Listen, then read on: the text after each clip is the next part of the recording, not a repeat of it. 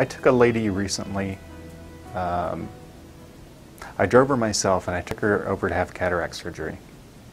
And the uh, the surgery center treated me as a family member because to have a procedure like that done, you have to have a family member present.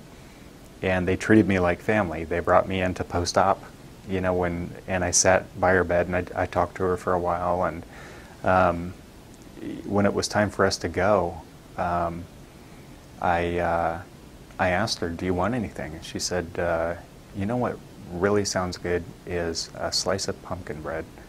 And so I said, "I will get you a slice of pumpkin bread."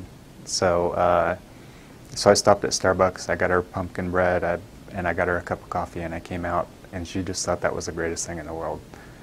You know, um, just being able to offer little things like that. That for me, no big deal. You know, no big deal at all. And she said, "I'll pay it for you. I'll pay for it. Oh, just a few dollars."